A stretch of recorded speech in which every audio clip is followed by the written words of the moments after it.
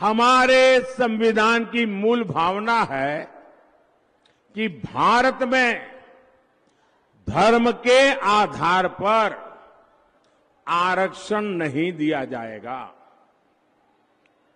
ये निर्णय संविधान सभा ने बहुत सोच विचार कर किया था।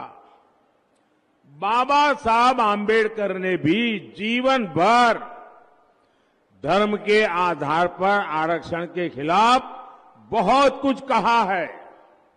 लेकिन कांग्रेस देश में धर्म के आधार पर आरक्षण देने की साजिश कर रही है।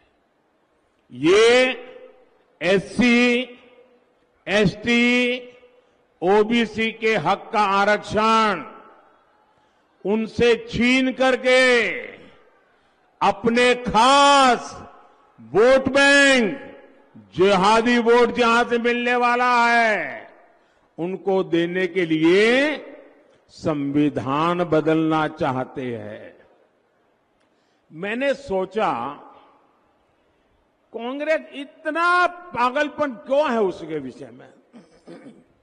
तो मैंने कुछ लोगों को पूछा मैंने कहा, भाई, क्या ये, क्यों ऐसा कर रहे हैं? बोले, उनका सीधा सीधा हिसाब है कि वो अब दलितों को, आदिवासियों को और ओबीसी उनको ज़बरदस्त सजा करना चाहते हैं. मैंने कहा दलित, आदिवासी और ओबीसी को सजा? क्यों? बोले, सजा इसलिए करना चाहते हैं कि मोदी आज जो बैठा है ना, उसका कारण अब दलित मोदी को वोट देता है, आदिवासी मोदी को वोट देता है, ओबीसी मोदी को वोट देता है।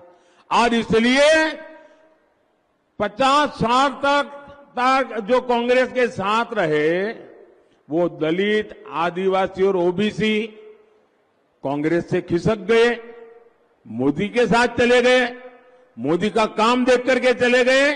तो अब उनको लगता है कि अब दलितों को, आदिवासियों को और ओबीसी को सजा करे।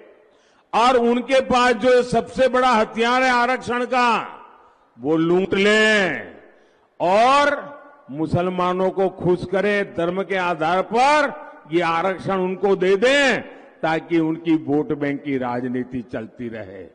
और इन्होंने ये पाप कर्नाटका में ऑलरेडी शुरू कर दिया है। टीएमसी लेफ़्ट इतने बड़े भयंकर पाप में भी चूप है।